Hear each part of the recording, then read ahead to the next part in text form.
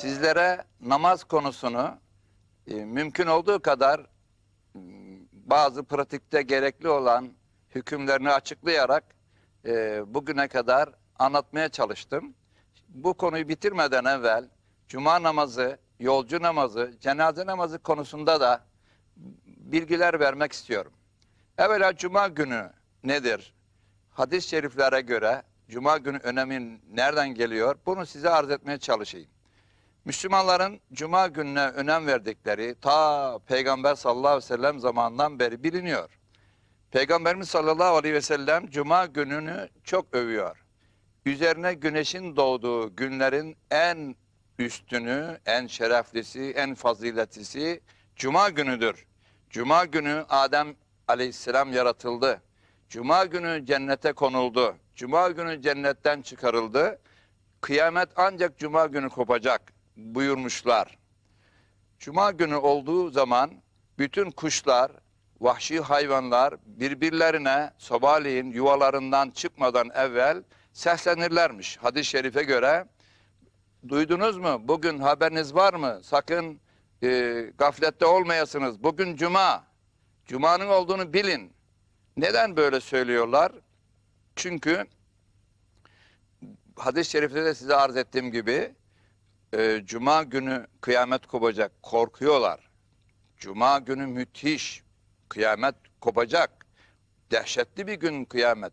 Kur'an-ı Kerim'de çok açıklanmış. Dehşetinden Allah'a sığınıyoruz. Onun sıkıntısından Allah'a sığınıyoruz.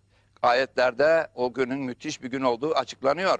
Onlar da Cuma günü kıyamet kopacağı için Cuma günü bugün kıyamet kopu verir diye uyanık bulunun. Gaflette olmayın arkadaşlar, kardeşler birbirlerine sesleniyorlar ve selam veriyorlar. Ayrıca mahşer Cuma günü kurulacak. Ee, cehenneme giriş, cennete giriş Cuma günü olacak. Ee, onun için e, bundan korkuyorlar. Bir de Cuma günü faziletli bir gün dualar kabul olunuyor. Öyle bir saat var ki o saatte edilen dualar yüzde yüz geçerli. Ancak o saatin hangi saat olduğu bilinmiyor.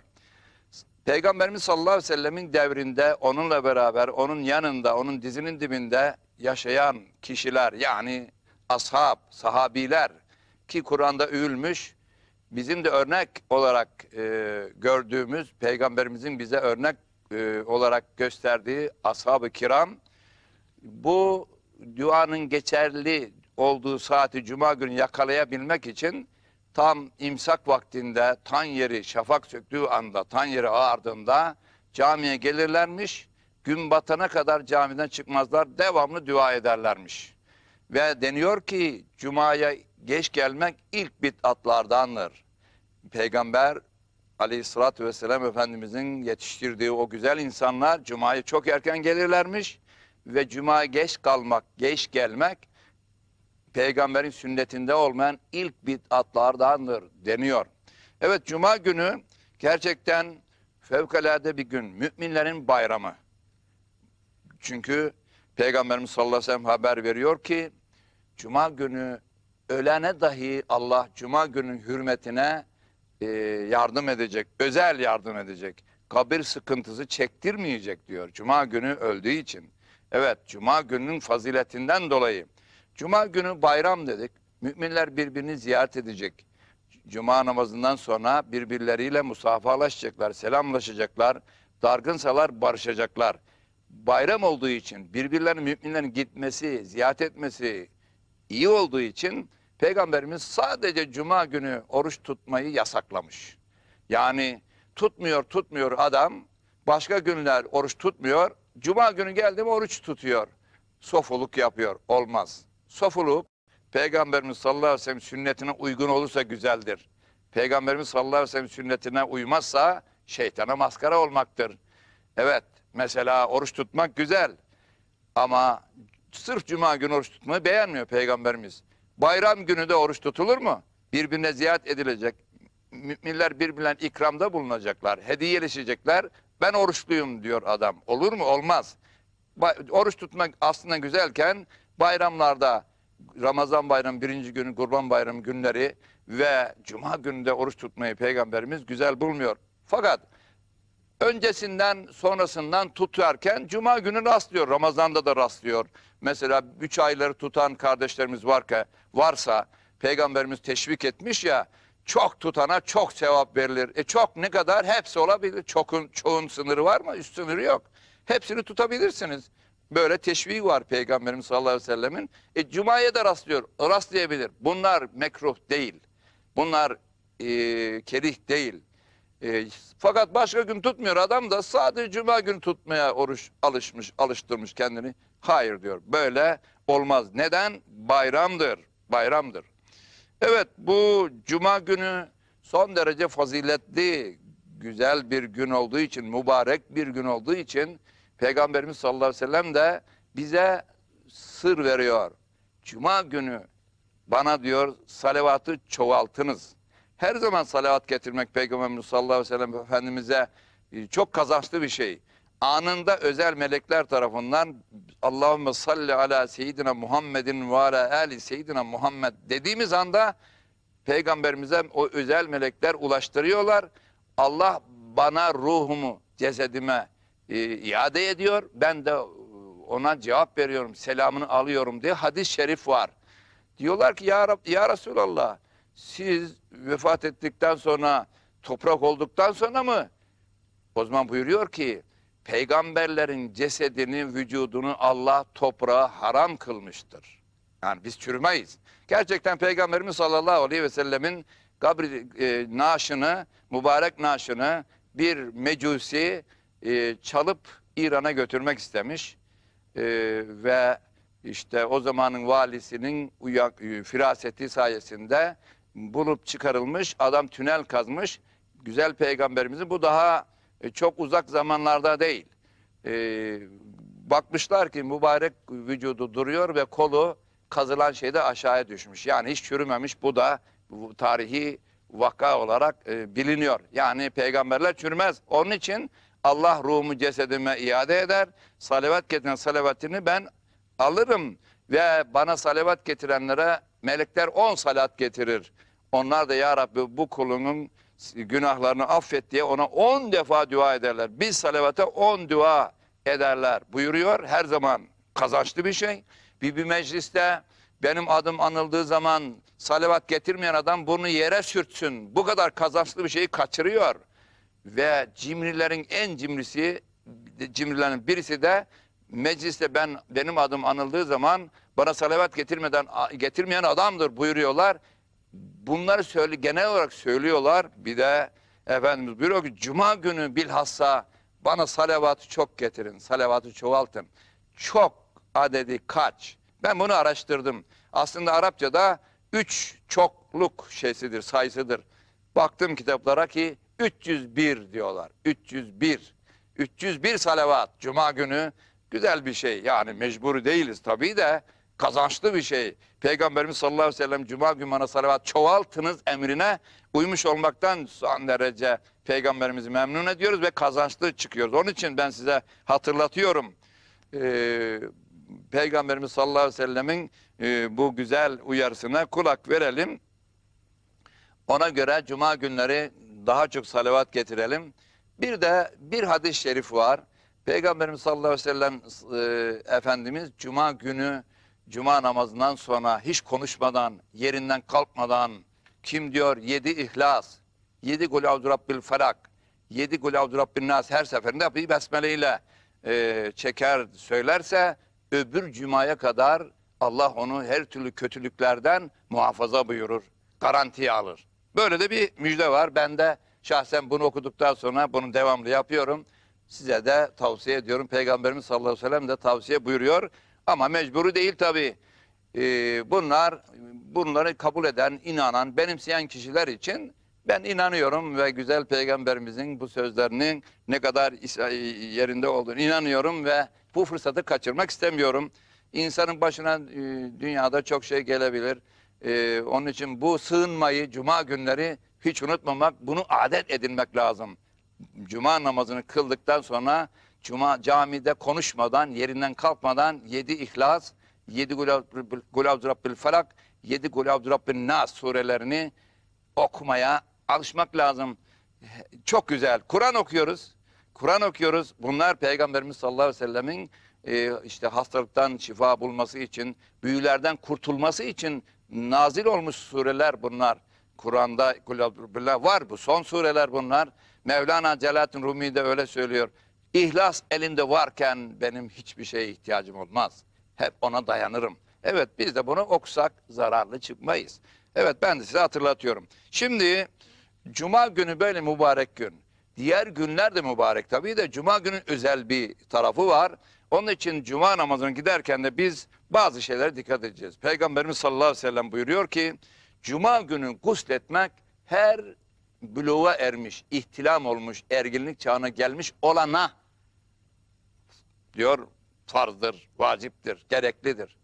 Buna bak- bakarak mesela İmam Malik ve diğer bazı imamlar Cuma günü yıkanmak farzdır diyorlar. Ama bir başka hadis var. Cuma günü boy abdesti alarak yıkanarak boy abdestli Cuma'ya giden en faziletlisini yapmış olur.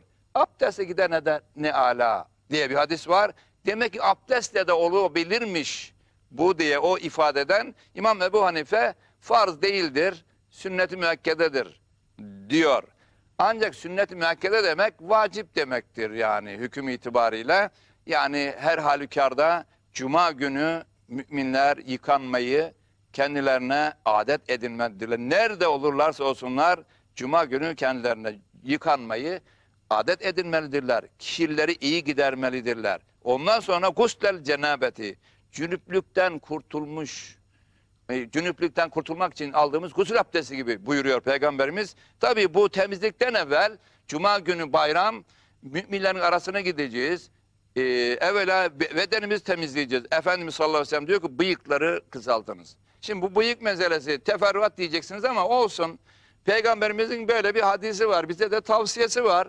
Onun için bıyıklar alırken şu üst dudağımızın kırmızısı görünecek şekilde alttan almalıyız.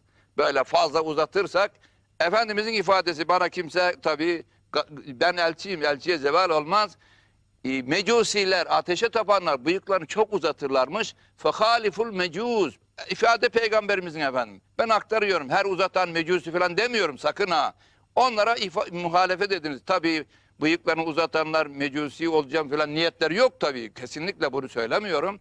Ama madem ki peygamberimiz böyle söylemiş fazla uzatmamak her şeye batacak şekilde olmaması lazım. Şöyle alt dudağımızın eti görünecek şekilde bıyıklarınızı kısaltınız diyor.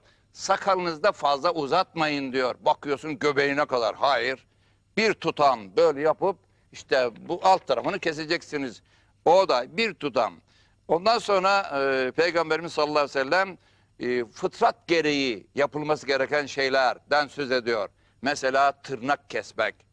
El parmaklarımızdaki tırnakları, ayak parmaklarımızda tır- tırnakları Cuma'ya gitmeden evvel, Perşembe öğleden sonra en güzeli kesmek lazım.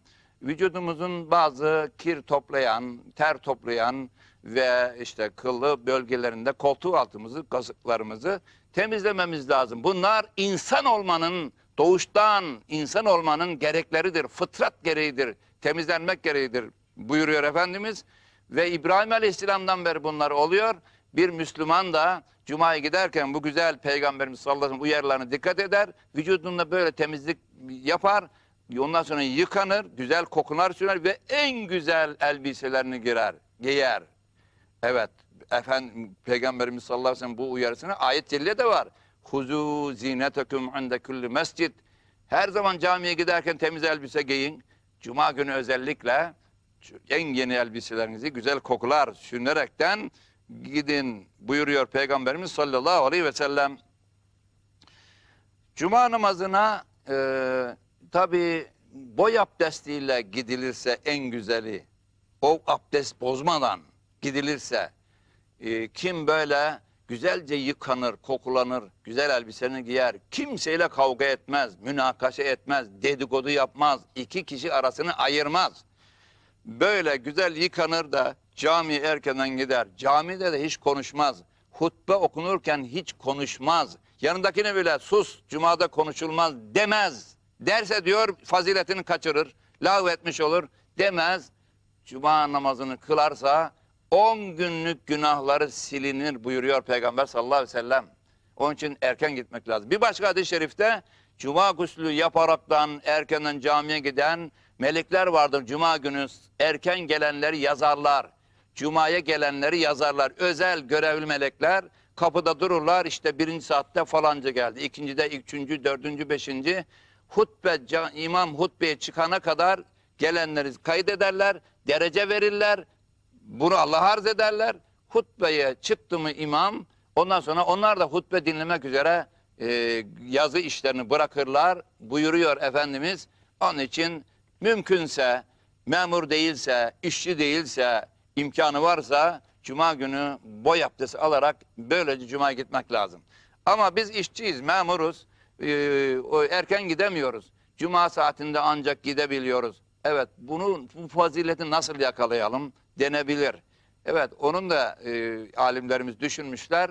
Böyle işçi, memur bir adam sabahleyin evden çıkarken cuma günü diye boy abdesti güzel yıkanır, boy abdesti alırsa cumaya kadar abdestini bozsa bile o fazileti gene alır diyorlar. Hatta hatta e, hayızlı kadınlar, lohusa kadınlar bile bile cuma günü yıkanırlarsa bu fazileti alırlar cuma diye.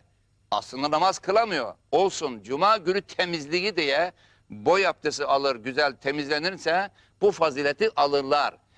Temiz kadınlarla eşleri geceden birleşirlerse o zaman ikisi de bu cuma faziletinin yıkanma faziletini alırlar. Onu da kitaplarda biliyoruz. Evet, e, cuma gününe böyle özel bir e, e, itina, dikkat göstereceğiz. Erkeden gideceğiz ve iki kişi arasını ayırmayacağız. Bazı alimler diyorlar ki iki kişinin ayırmamaktan kasıt dedikodu yapmamak, kavga yapmamak falan ama camiye şimdi erken gelen çok alıyor. İlk safta bulunan çok alıyor. İmama en yakın adam en çok alıyor. İmamın arkasındaki bir numara adam en çok sevap alıyor. Erken giden oraya oturur. Tabii herkes oraya oturmaz. İmam namazında şaşırdığı zaman, abdest bozulduğu zaman yerine birini geçirecek. Onu ikaz edecek bilgili birisi olması lazım. Bir, iki, üç. Onun dışında hemen dördüncü adam siz olabilirsiniz. İmamlık yapacak kadar bir şeyiniz yoksa bile kapasiteniz. Ama varsa efendim benden daha büyükler var. Erken gelsin. Erken gelsin. İlk sınıfta, ilk safta en imama en yakın yerde bulunma şerefi cami erken gelenindir. Geç gelen bunu kınayamaz. İki, şimdi cami dolmuş. Herkes ilk safa yanaşmış, dolduruyorlar. Güzeli budur. Peygamberimiz sallallahu aleyhi ve sellem istediği budur. Karlı olan budur. Girip kapının eşiğinde hemen bir köşeye ilişmek yanlıştır. Akılsızlıktır. Çünkü sevabı kaçırmaktır. Erken geliyorsun, önde boş yer varken öne gideceksin. Bu akıllılıktır, karlılıktır. Onu arz ediyorum. Şimdi ön dolmuş. E adam mevkisi şu falan şu. E, kapının içinde yer var. Olur mu o adam oraya layık göremiyor kendini. Milletin e, omuzlarını böyle ayırarak öne geçerse ayırmaktan kasıt da budur. Bu adam lanetlidir diyor Efendimiz sallallahu aleyhi ve sellem. Zulmetmiş oluyor çünkü. Erken gelmediği halde başkasının hakkına tecavüz ediyor. Erken gelirse öne otursun ancak bizim çoğumuzun yaptığı gibi akılsızlık edip de erken geldiği halde kapının girişin hemen ilişmiş, kapının önü dolu. Ön saf boş. O zaman inadına bu akılsız adamların omuzuna basa basa öndeki boş yere geçmek lazım onlara ceza olarak. Evet. Öne geçen çok kazanır. İlk safta bulunan çok kazanır. Onun için arkada durmayın. Öne gidin. İmama yaklaşan çok sevap kazanır. Bu şekilde camiye gittikten sonra evet camiye işte ilk giden da- e, şey deve kesmiş gibi. ikinci giden sığır dana kesmiş gibi. Üçüncü giden koç kesmiş gibi. Dördüncü giden işte tavuk horoz kesmiş gibi. Beşinci giden yumurta sadaka yapmış gibi. Tavuk, tavuğun horozun kurbanı olmaz da sadaka yapmış gibi. E, böyle sıraya koyuyorlar. Çok veriyorlar ilk gidene. E, imam hutbeye çıkınca da artık bu fazilet alma meselesi kalmıyor. Tabii ki Cuma kabul olunacak. Cuma sevabı alacaksınız. O ne ayrı iş ama şu deve kurbanı etmek gibi sevaplar artık hutbe, hutbeye başlandıktan sonra girilirse camiye onlar kalmıyor. Şimdi böyle camiye gideceğiz. Yolda dedikodu yapmayacağız. e, cebimizi elimize cebimize sokarak mesela estağfurullah diye diye, subhanallah diye diye veyahut da e, tesbihle demesek bile gidince kadar boş duracağımıza elhamdülillah diyeceğiz, Allah diyeceğiz. Estağfurullah salavat getireceğiz yolda giderken.